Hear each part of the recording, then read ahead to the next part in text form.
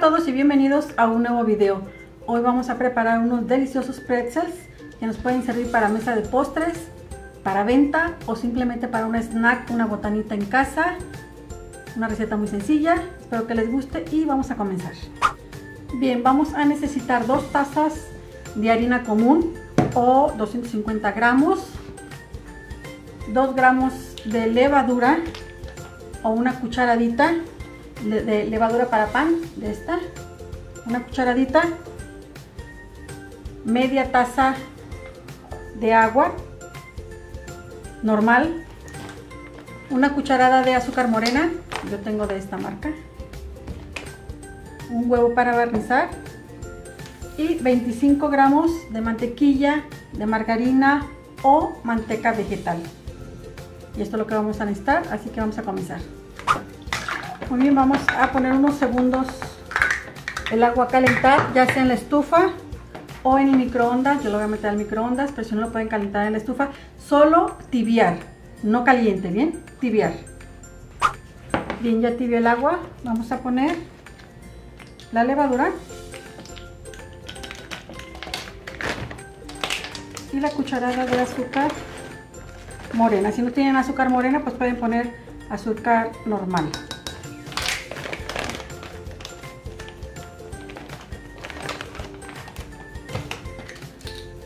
Vamos a poner unas dos cucharadas de harina de la que ya tenemos aquí.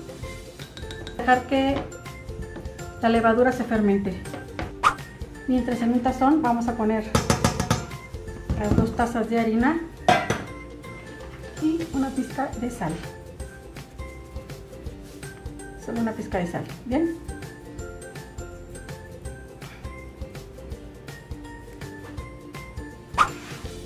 Bien, ya tenemos aquí la levadura fermentada. Vamos a agregarla toda.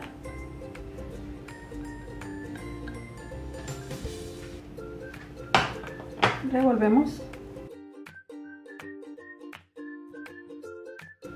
Y agregamos la mantequilla la mantequilla, margarina o manteca vegetal, lo que tengan a la mano. Y vamos a empezar a amasar con nuestras manos.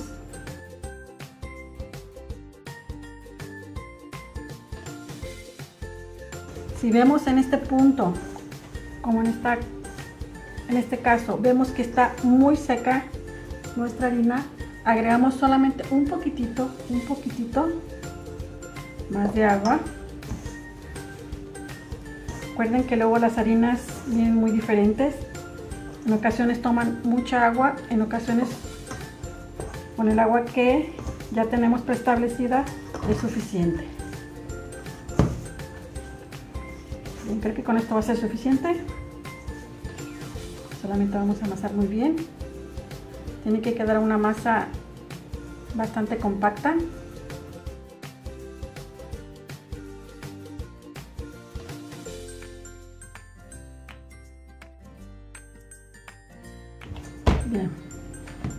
Se pega.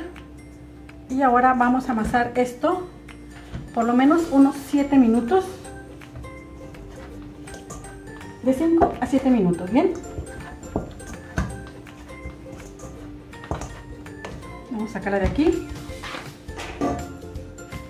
Y amasamos.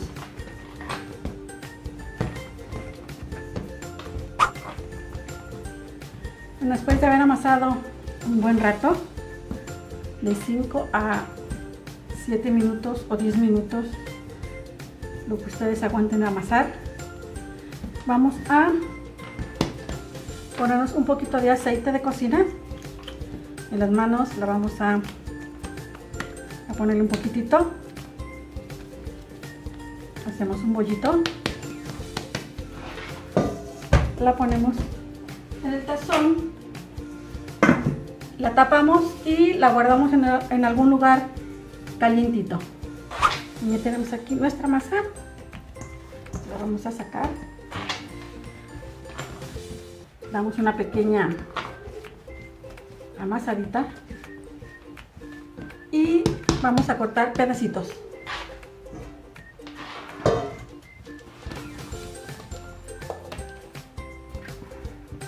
Les voy a decir más o menos de qué medida son para que ustedes se den una idea del tamaño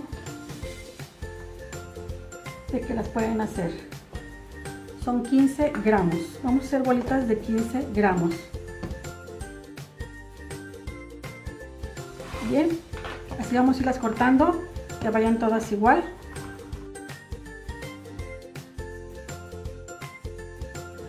Ya tenemos aquí todas las bolitas. Vamos a olearlas y las vamos a ir poniendo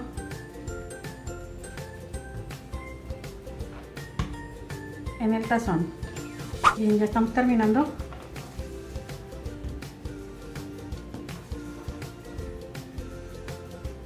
Y como ven, nos van a salir bastantes. Ya si ustedes quieren hacer más cantidad, bueno, van duplicando o triplicando las cantidades y con eso tienen. Vamos a taparlas con un plástico que no se nos vayan a resecar. Y ya tenemos el horno precalentando a 350 grados Fahrenheit o 180 grados centígrados. Y vamos a comenzar. Vamos a amasar nuestra bolita. Vamos a extenderla. De aquí depende ustedes del grueso que las vayan a querer.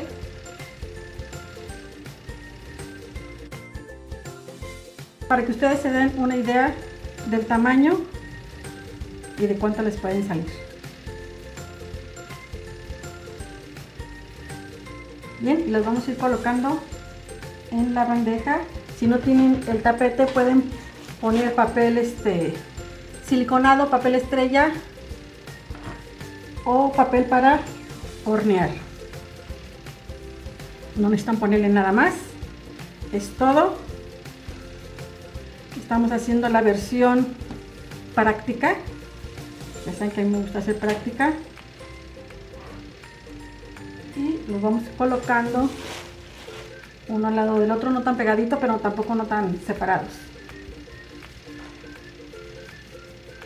La receta más elaborada en este momento, que ya tenemos aquí, por ejemplo, este palito, deberíamos de tener una bandeja con agua tibia con sal. Entonces se meten en el agua con sal y ya después se ponen en la bandeja. Pero nosotros estamos haciendo la versión práctica. Bien, vamos a seguir haciendo estos palitos. Simplemente los vamos a ir estirando. Que queden más o menos del mismo grosor y del mismo largo. Bien. Ya estamos terminando con esta primera bandeja.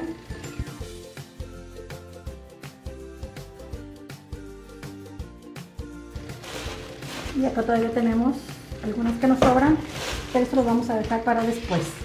Bien, ahora con un con el huevo que teníamos vamos a barnizarlos muy bien.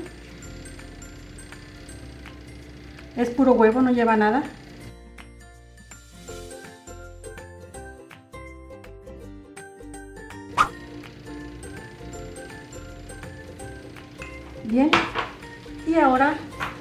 Em, semillas de sésamo o ajonjolí, como lo decimos en México, los vamos, les vamos a rociar un poquitito.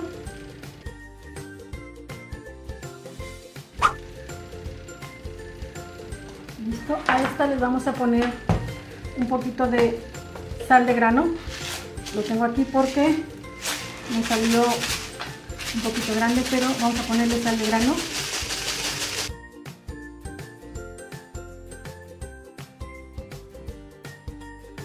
Listo. A este también les pueden poner un poquito. Y si, si no quieren de sal de grano en esta, le podemos poner un poquito de esta. Les aseguro que le da un sabor espectacular. Solo un poquitito. Y se van a ir al horno de entre 30 minutos a 40 minutos hasta que estén bien súper, súper doraditos como debe ser un pretzel. ¿Ok? Yo lo voy a meter al horno a 350 grados Fahrenheit o 180 grados centígrados el tiempo que sea necesario de entre 30 a 40 minutos. Bien, van para el horno Bien, ya salieron. Ya están aquí. Vamos a dejarlos que se enfríen un poquitito para sacarlos de la charola. Vamos a sacarlos de una vez.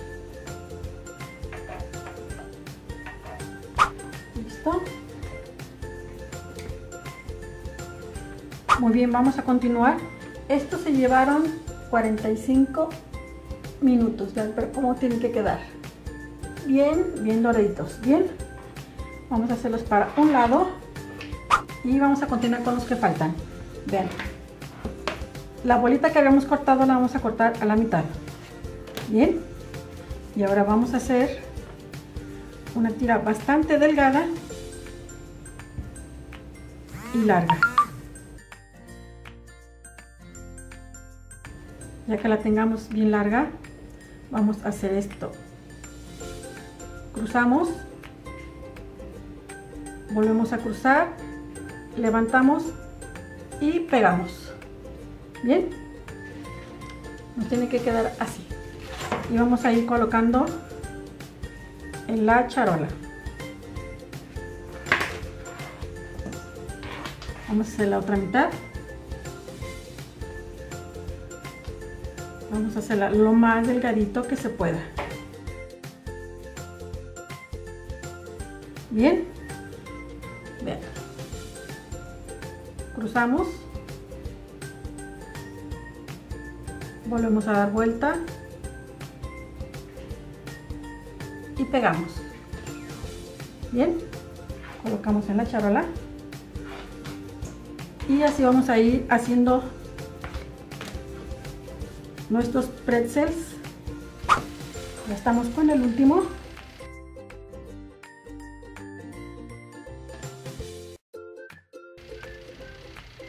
Damos, cruzamos, damos otra vuelta y pegamos. Colocamos en la charola. Y ahora igualmente con huevo vamos a barnizar. Muy bien. Y también se van a ir al horno a 350 grados Fahrenheit o 180 grados centígrados. Bien aún les vamos a poner ajonjolí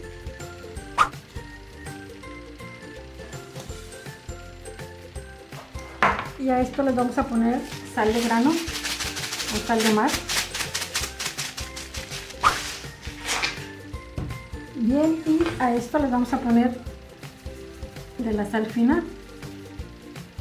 El sabor saladito de los pretzels es muy rico y les aseguro que les va a encantar. un poquito y se van al horno. Bien, ya salieron, hay que dejarlos enfriar y ahorita regreso. Bien, ya están listos. Vean, si los hacemos delgaditos, van a guardar la forma del pretzel tradicional. Bien dorados. Estos como los dejé gorditos, pues se cierran todos, ¿verdad? Pero al caso es lo mismo. El chiste es que queden con un buen sabor. Voy a pasarlos para acá. Bien, y aquí ya los tenemos listos. Aquí ya tengo chocolate derretido. Si los van a poner en alguna mesa de postres, ustedes los pueden personalizar como con el chocolate y el color que ustedes lo vayan a necesitar. Vamos a bañar nuestro pretzel. Y a este le vamos a poner nuez. Ya que ustedes le van a poner el topping que ustedes quieran vamos a poner otro.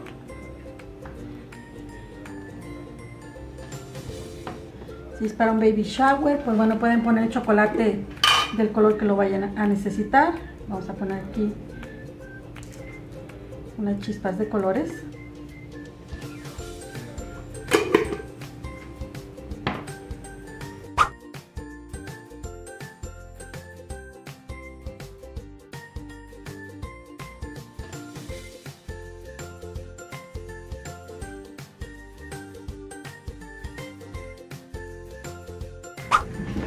Y bueno, con un poquito de chocolate blanco vamos a ponerle una decoración a estos.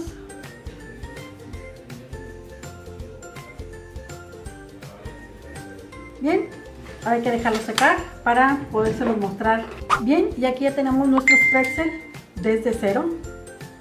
Ven ustedes. Para sus mesas de postres. Como les digo, ya si lo quieren personalizar con chocolate del color que vayan a necesitar.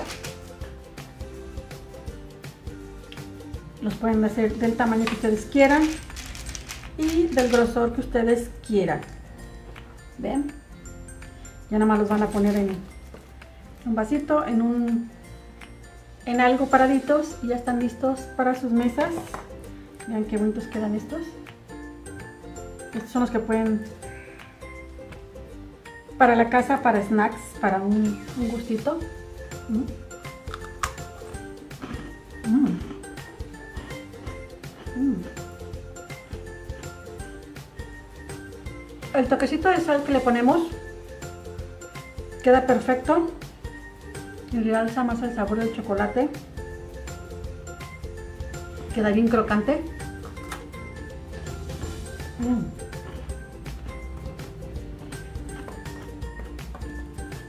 No pueden dejar de hacerla, de verdad.